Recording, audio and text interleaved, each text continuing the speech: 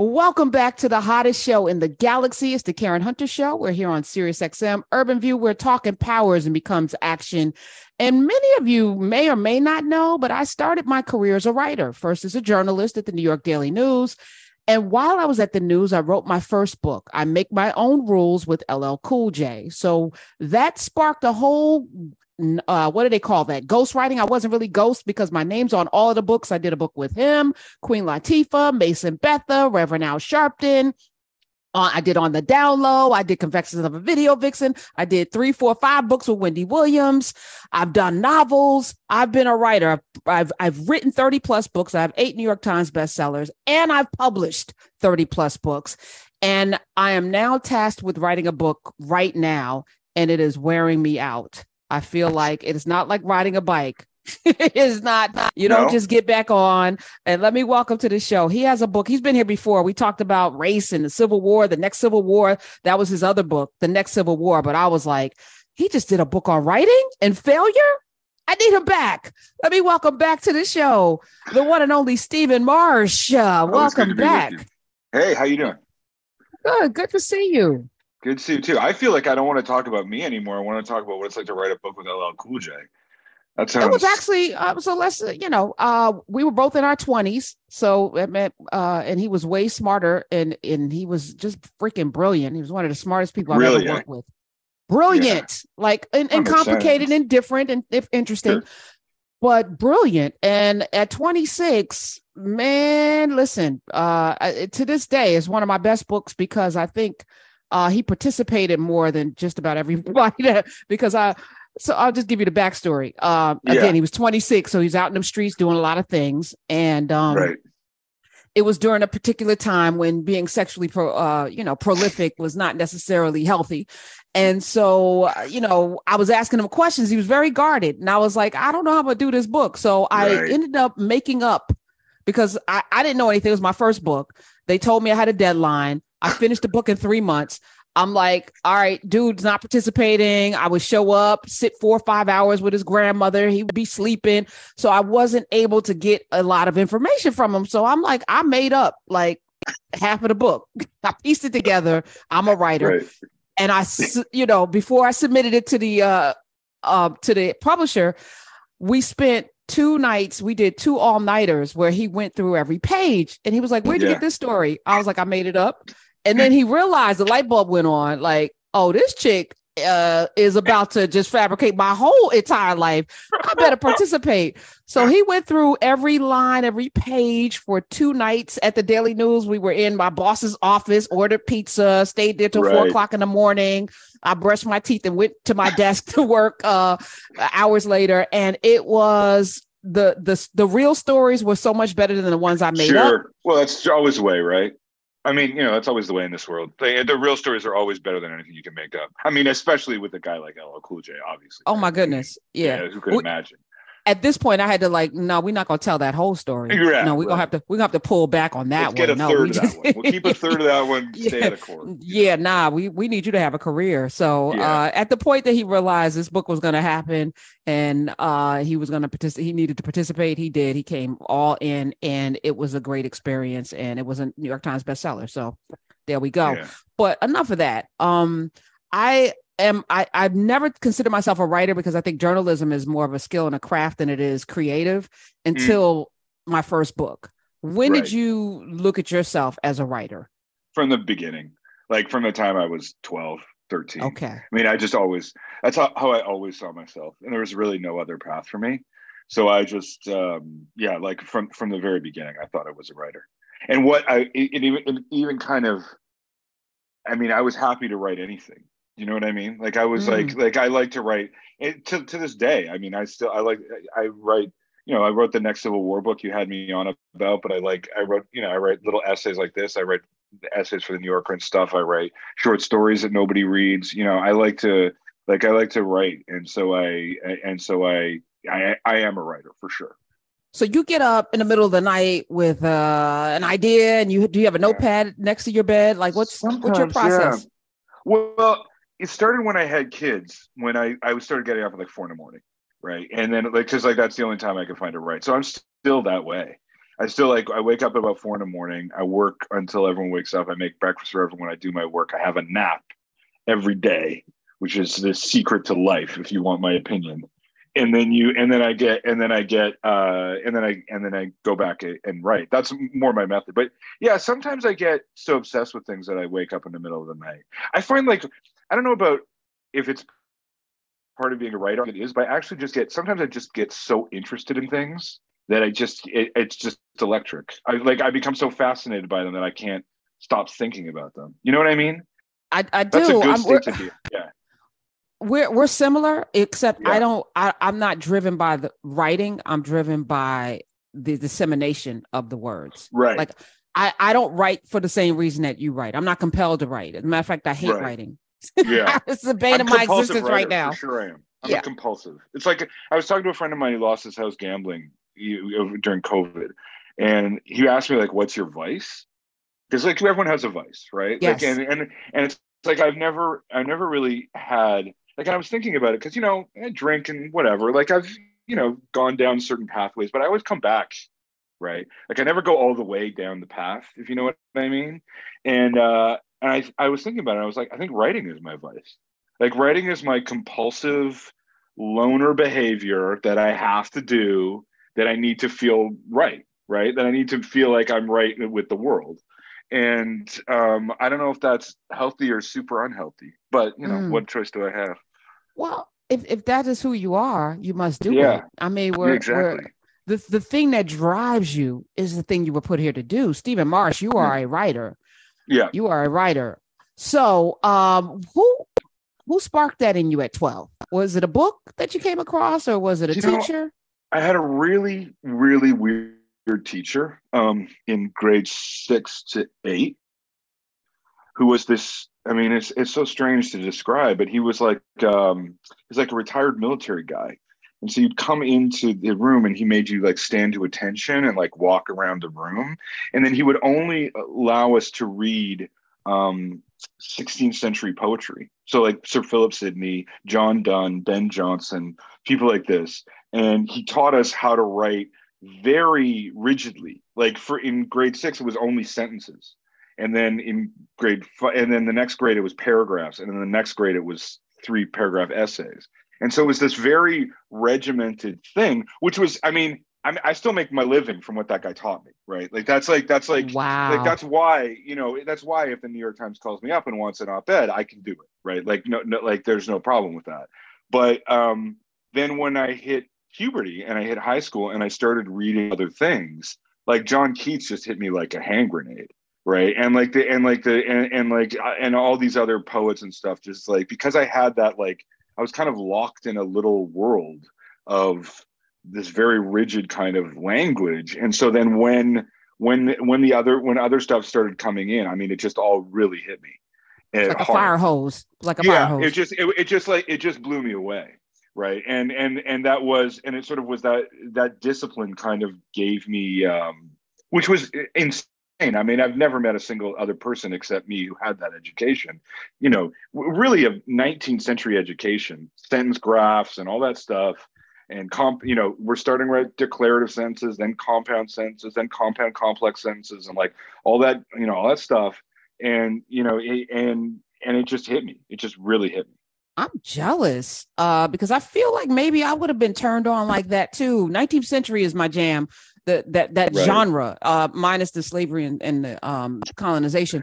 But if you know, yeah. from a from a literature standpoint, a though, butt, you know what I mean? Yeah, I mean, yeah, minus that, whatever, minus, right? Minus the fact that my people were in chains, but the writing of that period, you know, yeah. is still to this day. You got Shonda Rhimes out there creating Bridgerton off of that, you know, off of that period of time because it was so it was romantic. It was it was uh, you know restrictive, but at the same time there was all all of this, you know friction and um it's it's a sexy period. I i get yeah, it. I get i mean to me it was the renaissance. To me it was shakespeare and the revenge tragedies which i ended up doing my phd on like you know particularly things like hamlet and then um and then uh you know and then and revenge tragedies like uh marlowe webster and so on that's and then i you know i was i taught that at city college for a while Um, okay, so I'm sorry, Doctor Stephen Marche. I need, well, I, I am, be respectful. Yeah, but I haven't used it. I haven't used it, it a long time. We're gonna use it here. Because anybody know. that went and got a PhD, you, you're gonna get your doctor from me. I don't. Dr. Stephen Marche is here. Honestly, that's the that's one of the easier things to do is get a PhD. Is it? This, this, I think so. Well, I mean, compared to writing a novel, you're saying that. wait, wait, you're saying that as no. Well, you're saying that as a person for whom I'm sure your advisors didn't look at you as somebody that not worthy of getting one. And I know several of my friends who have had a hard time with their dissertations with advisors who uh, were super racist and sending them through all kinds of hoops. So you know, there's a whole new right. world out there. There's a different world than where you come from. Yeah, of course. Marche. Well, I come from Canada, so well, yeah, there, there, there you go. there you go. Uh, the book is called On Writing and Failure. I mm-hmm. um Stephen King is my jam. I I cut my teeth on Stephen King uh and Richard Bachman. And Thinner and The Stand was one of the first books and was like really thick after Roots. That was the thickest book that I've read. And I, as a 11, 12 year old, I was in the world immersed in all kind of Stephen King crazy. Um, and I just fell in love with all of his stuff. And I read on writing a memoir of the craft when I became an official writer. And to this day, it is one of the best books on writing uh, that I think is out there. Until this one. Right. Were you have you read this? Have you read on yeah, writing yeah. a memoir? Yes. Sure. And I how mean, is this similar or different? Well, you know, I don't want to take anything away from his book because it's really good and it's really frank. But like, you know, it's a different kettle of fish when your experience of writing is being paid several hundred thousand dollars for your first book and never looking back.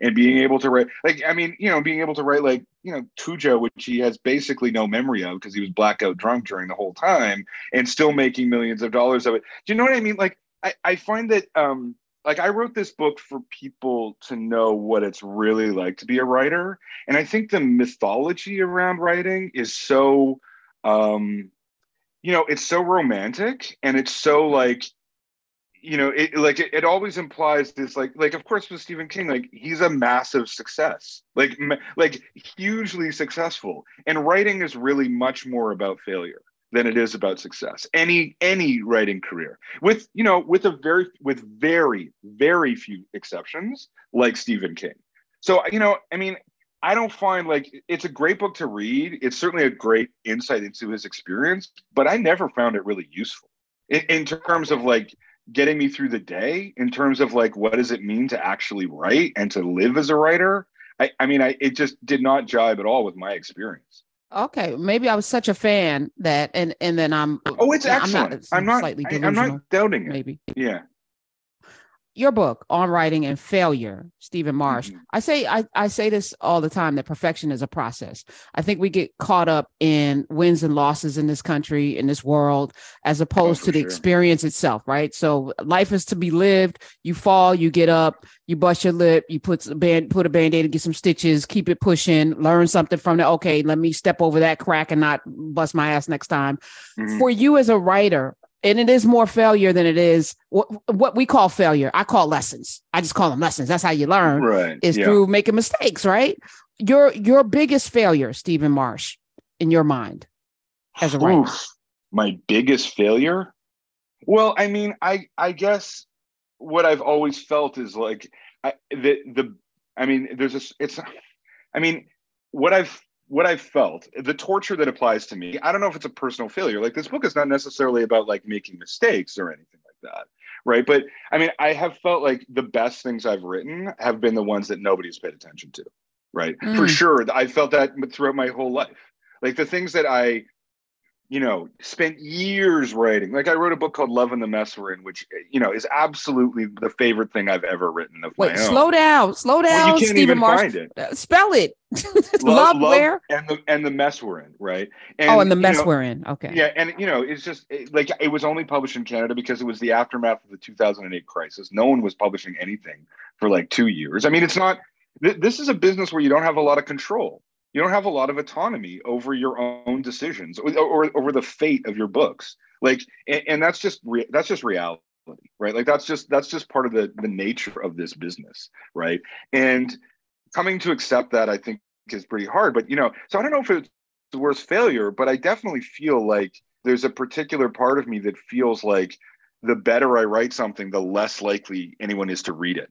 Which is really whereas on the other hand, you know, I can whip off a thousand word column that will be read by 10 million people, right? Like uh, for for newspaper, right? Like and that's and that's um you know it's out of my control and that's and that it, but it, it makes it hard to sort of think like okay well it's still worthwhile to write really well and to do what i can to make the best stuff that i can possibly make um, you know even if it you know goes to some small literary journal where it's read by 30 people 15 of whom hate it right like it's that, that's a that's a sort of tough thing to face I know this is your jam because you didn't talk about the next Civil War with this much passion. Just gonna say it. I'm just gonna put it out there, Dr. Marche. Well, the next Civil War is a brutal reality. I mean, no one wants to talk about it. Like it's important to talk about. You know what I mean? Well, also, I feel I don't know about you, but like I've only talked to a few people about this book so far. But like among writers, I feel like there's a relief in talking about it. You know what I mean? Like you're so used to dealing with. I'm sure, you, like you, you're way into this more than the next Civil War too, because you're sitting there thinking like, yeah, he's right like I've I've been sitting here with all my failures, not talking about them, not being able to think about them, trying to push them to the side of my mind. And yeah, you're absolutely right. It is the substance of what I do, right? I mean, like that's the feeling I'm getting from this book. I don't know, like you know. Yeah, no, I mean, it's you, good you, to talk about because writers are solitary beings you yeah, know you're absolutely. in your own headspace you may have an editor but it's it's you it's you and right yeah. now, the words on that paper used to be, you know, pen and paper, used to be typewriter. I've been through all of that. And now it's the computer. It's you and your thoughts in the words, and no one can actually help you. This is one, no one can help you do this. This is something right. that you have to figure out, you know. So I want, I wanted, I was like so excited. The book is on writing and failure. Uh, and I'm gonna make a prediction, Stephen Marche, that yeah. love and the mess we're in 50 years after you're dead is going to be like a best-selling book. Well, They're going to make it into movies. It's going to be like a phenomenon. It's going to be t-shirts and mugs, and your grandchildren will be able to say, "My granddad did that." I from bet your mouth you, to God's ear. I mean, I bet honestly, you. I put it out there. God's ear. Yeah. Well, but, I, I plan like, I mean, I think around, the other thing so. is you don't you don't you don't know the readers, right? And that's the other thing about being a writer. Like I'm so jealous of like stand-up comedians and musicians, right? Because they like actually see the reactions to things like they see the, the people. Like when you write something, like you don't actually. It happens in somebody else's soul when they're alone right and so you don't actually see what it does to somebody and that i think also is it you know it it makes it harder to bear right like it makes it it makes it so it makes it so much harder to to feel what you're doing as a real activity right rather than something that you're doing just you know in your you know in your at your desk you know for yourself okay stephen marche I'm, I'm working on a book right now that I can't seem to uh, finish. Um, all right, let's talk it through, Kim. Oh, let's get the discipline I, going here. Let's all right, all right. And here. I and I don't. Let me tell you how bad it yeah. got this weekend because I, I don't get writer's block, but this weekend yeah. I cleared out 7,500 email from my email inbox in, instead of writing the three chapters. I cleaned my baseboards. I think I cleaned out my refrigerator. I might have drywalled uh, a new room. I was doing anything. Right. I went to the supermarket, anything. But and then I would get in, I would get up, Stephen. I was like, I'm going to write three chapters today. I would get in front of the computer and then the emails distracted me. And then I got phone calls and I was like, I'm turning off everything. And then I was like, I wonder what's happening with uh, this new TV show on HBO Max. Last what of Us, hell? I have to watch that, or else like what? Yes. Gonna... What is wrong with me? And I and it's due. It was due last week, right? So the book was due last week, and in my mind, because months ago, I was like, I figured it out. You know, because it's like you know, because yeah. you got to put it together. It's like a, a giant puzzle, and then yeah. the pieces started falling into place, and I was like, I'm gonna knock this out. Right. And then, yeah, then it didn't happen. Well, you know, I don't need to give you any advice. You don't need any advice because you already know what's wrong and you know what to do here. Oh my God. Right? Well, tell me, yeah, I mean, tell me do, anyway. Right? Tell no, me anyway. Because I mean, I'm well, oh. you know that like first of all, this is part of the process. Like, you know, you're you're obviously like this is part of like you're you're gonna you need to write it in a different space than you were in that weekend. Like, obviously, right? Like that's part of reality. And you're not the first human being on earth to procrastinate over a book. That's like literally everyone who's ever written a book. And if they didn't publish books that were past deadline, there wouldn't be any published books. So you know all of that stuff, right? Like then the other thing you, you know is that you're going to have to you're going to have to dig yourself a deep hole and go into it and finish it like you're going to have to find some way. It's going to be I mean, you know, you could pull out all the stops and go to a hotel and turn off the Wi-Fi, but like you're gonna have, like that's why I wake at four in the morning. I mean, if you're connected to the internet, why on earth would you want to write? Like every movie on earth is right there. Like you, you know what I mean? Like so you're gonna have to like you're gonna have to find the space where it's just you alone in a room with the words and wrestle with the angel. You but you, you already know that. I mean, like I'm yeah. not telling you anything you don't know. Like okay. you, you, already know so, that that's the process. So for you, um, mm-hmm. you get up at four in the morning. When and I say it's either four in the morning or you you start at two or one or two in the morning because there's something to be yeah. said for yeah, I, I look at it like this, and I know this doesn't make any sense, but I feel like there's a finite amount of energy flowing, creativity, and yeah. everyone's asleep. but so you have the the forces of all you know you can tap into all of that because yeah. you're not competing with anyone. That's the way i look at it. Well it's the ding of the phone right? I mean that phone it, like there's studies. If, you, if your phone is in your room you're dumber.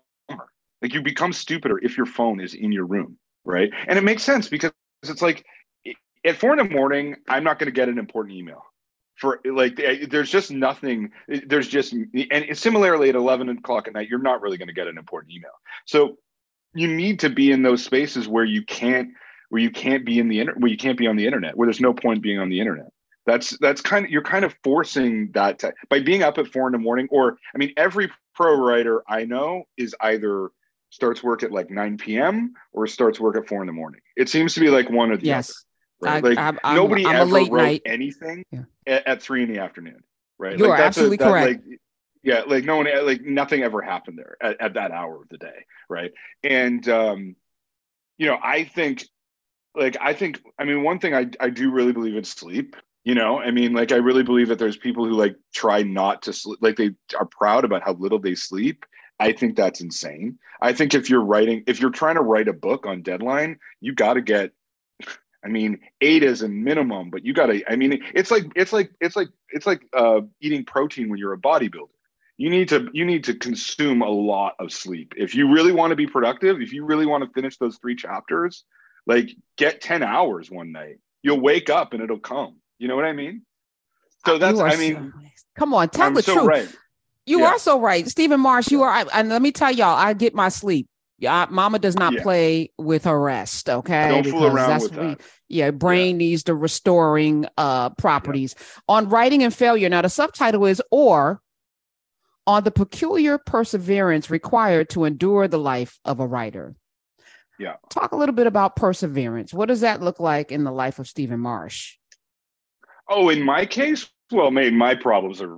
I mean, you know, this book is full of like Dostoevsky being like, you know, the, SARS and he, he was he was uh, he went through mock execution where they like took him out and pretended to you know pretended to kill a whole group of people and then said oh at the last minute hey we're not going to do it. And then he and then he was sent to prison for four years and he had real problems. I mean my problems are that i get rejected a lot but that's not i mean as you know that's just life. Like that's just like there's and act and you know one of the things that's great about aging a bit and about and about learning from experience is that you realize that everybody gets rejected all the time. There's never a place that you get to where you're not being rejected mm. right? Like it's just it is that is the nature of this business. Like if you were like the only thing that changes is who you get rejected by and and and and maybe the tone of the rejection but that's that's really it. Um so yeah my problems are you know negligible. The i'm talking you know some of these stories in here about like you know how Machiavelli wrote The Prince after he was tortured, right? Like that is that that required know. real perseverance. Yeah. Okay. And, I, tell me about Baldwin. Tell me about somebody who looks know, like me. Tell me about Baldwin, Stephen Marche. Well, Tell me Baldwin, somebody that, that, I love because I don't care about Melville. I'm gonna just let you know. Well, there's up. some interesting stories in it because there, there's well, there's you know, I mean, the the sort of basic theme of the book is Baldwin's, right? Because he said like the the opening quote of the book is from Baldwin, where it's like he said. uh you know, their talent isn't worth much. I know plenty of talented ruins. What you really require to survive, I mean, I'm paraphrasing here, but what you really require to survive in this business is endurance, luck and endurance, right? And um, you know, that's a that's a very brilliant phase. I mean, there's also about Alex Haley, There's a, a pretty interesting story about him in there, where he where he, I mean, he he had a pretty ordinary career until Roots. I mean, you know, struggling writer career, and then with Roots, there's a scene where he that where he is being flown in the um, Reader's Digest private jet, and this is in the days when like Reader's Digest like was lord of me of American media, right? And they like flew him in a private jet. Would you like a cigar, Mr. Haley? Would you like there's brandy here? There's like a whole spread in the plane. You know what I mean? Like, and uh, and he all he thinks about the entire flight is his rejections and which mm. I just mm. think is like the most amazing test. That's exactly how writers are. It's like, you know, it doesn't matter where you are. You're like flying in a private jet, and all you're thinking about is like, yeah, I really showed these bastards. They rejected me back in the day, and look where I am now. Like it's it's it's perfect like that. Um, but yeah, let me say, I, I actually... let me say this: it's not that I don't care about people who don't look like me, but throughout as an English major, I was inundated with everybody that wasn't me until I got to college, right? And so I yeah. grew up with Tale of Two Cities and Willa Cather and Jack London's racist ass and and all you know it's like yeah, yeah. you you you get indoctrinated into a way of thinking through the lens of other people and Alex Haley you know was yeah. was important not just for Roots which I read in the fourth grade fifth grade journalist too yeah, and the uh, autobiography of Malcolm X, which has yeah, been a global course, yeah. success uh, yeah, yeah. as well. But uh, I just wanted but to say that Baldwin, like you know, Baldwin is like the master essayist, right? I mean, like he's like he's like the best essayist of the 20th century, right? I mean, you know, the interesting thing about Baldwin right now is that he's like, eh, you know, because he's so involved in political movements, we're in this racial reevaluation, so he's been restored in that way. But like, he's the person who brought the French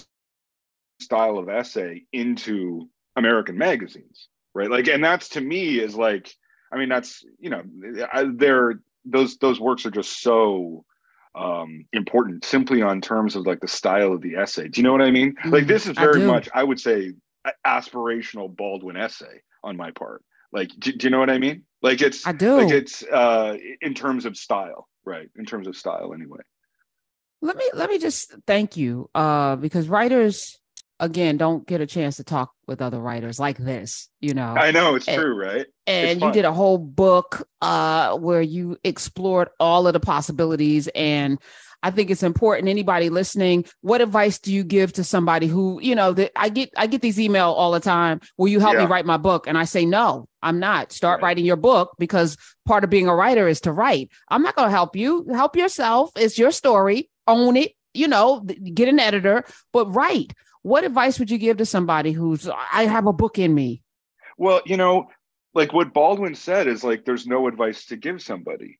Like either you're going to write or you're not going to write, and nothing you can say one way or the other is going to help them. Like go out, you know. I mean, I think the only advice I have, it's not really advice. It's just like a perspective of somebody who's been doing this as a freelancer for like 20 years. Is that when you're out trying to make books and trying to sell them and hustling. That's it. Like you're not any different when you're in that moment than Ian McEwan, right? Or whoever. Like this is it's the good news is kind of the same as the bad news. Like this is what it looks like. There's no place where you're going to get to where it's going to be like you're free and you get to do just what you want and you get and, and you know it's all and it's all it comes all easily like no one ever there, that doesn't exist really right and uh and so you know i guess the, the the the advice it's not really advice it's just like you have to understand that this is it like you trying to figure out how to write your book and try to sell it and try to and try to get it out there like if you want to do that's what this business is it's not mm-hmm. it's not anything else that is it and write for your soul not for a market. That's my advice. Well, don't write yeah, for well, a market. Certainly don't write for fame or money. Like that's no. you know, like that's like like if you're if that's what you're trying to do, if you're trying to write to get famous and rich, like please, please stop. like you know, th- there's there's no point. You're not going to write well, and you're not, and it's not. That's not a real sensible way to go about those things. There's a lot better ways to go about doing that. I couldn't agree more. Uh, Stephen Marche, the next Civil War, uh, we we love that. On writing and failure, come on through, or on the particular, excuse me, on writing a failure, or on the peculiar perseverance required to endure the life of a writer. Stephen Marche, you have done it.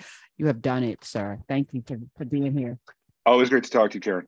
All right, before you click off, thank you, yeah. thank you, thank you. What's your Real go-to for breakfast? What My you, go-to for cook? breakfast? Yeah. I mean, I'm getting old, so you know, it's like granola. Uh, I mean, it's okay. like it's, all right. Goodbye. That's what you. Goodbye. All right. Goodbye. Nice to see you. Come on back anytime. All right, we'll do. All right. All right. Bye bye.